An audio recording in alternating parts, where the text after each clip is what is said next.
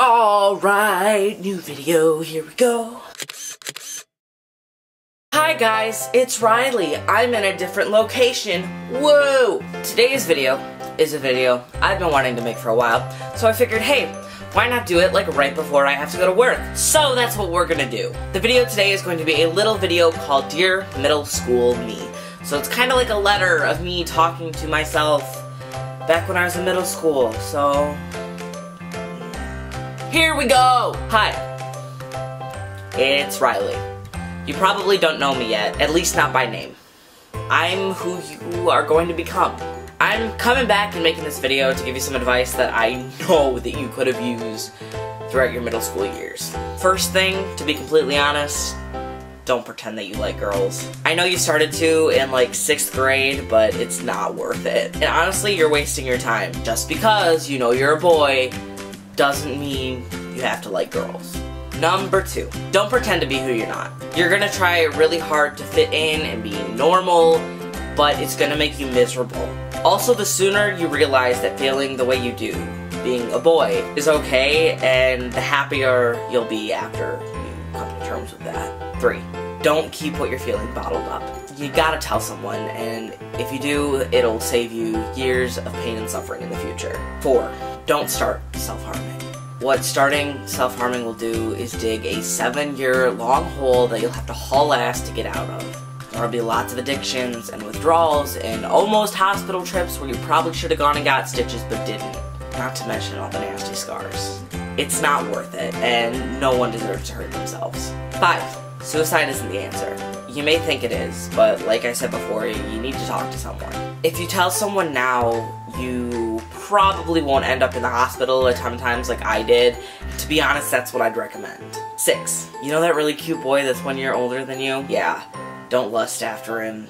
He's straight and not interested. 7. Keep true to yourself. Don't follow other people's examples. You gotta march to the beat of your own drum because being a conformist is not going to be worth your happiness. 8.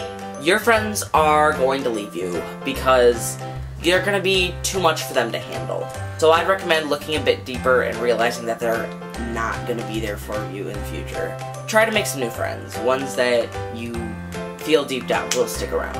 9. You're gonna gain weight, probably a lot of it, but that's okay and you can't hate yourself for it. 10. Please chop your hair off before 7th grade. Trust me. That's all I really have to say to you, just those 10 little things. May help, may not, go back, fix stuff.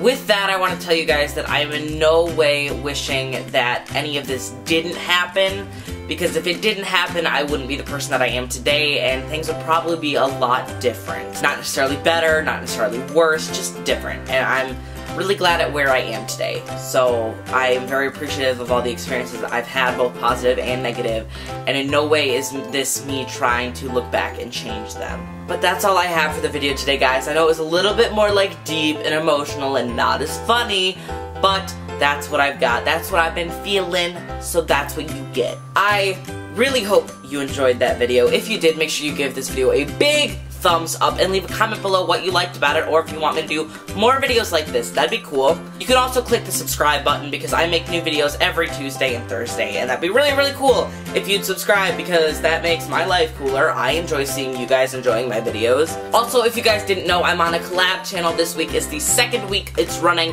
and this week is how-to week, so be sure to go check it out. It's called Quite the Collab and the link will be below. And that giveaway for the GIF Keyboard merch is still going on. The video with all the instructions and the things that I'm giving away is called the best iPhone app ever, so that will also be linked below.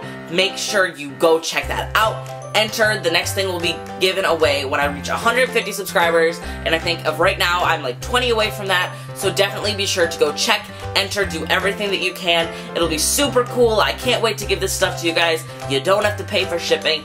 It'll be great. Just go do it. But that's what I've got for you guys today, so I really hope you enjoyed that, and come back on Thursday for some more.